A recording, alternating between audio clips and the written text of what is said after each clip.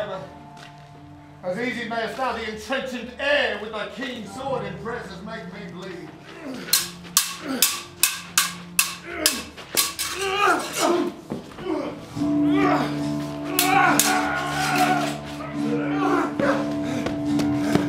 Let fall my pride on vulnerable quest!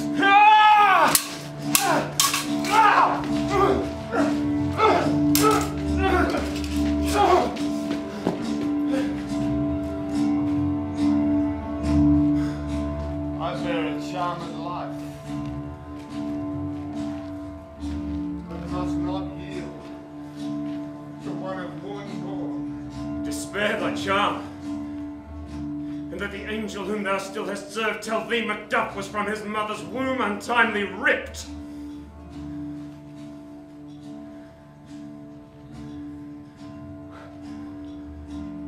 Cursed be the tongue that tells me so, for it hath cowed my better part of man.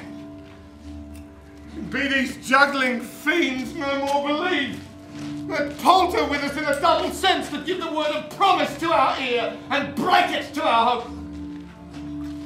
No, I'll not fight with thee. Then yield thee, coward, and live to be the show and gaze of the time. For we'll have thee as our rarer monsters are, painted on a pole, and under it, here may you see the tyrant. I will not yield, but kiss the ground before young Malcolm's feet, to be baited with a rebel's curse. Birnam wood to come to Dunsinane and thou opposed, being of no woman born. Yet I will try the last. Lay on, Macduff, and damned be he that first cries hold. Enough.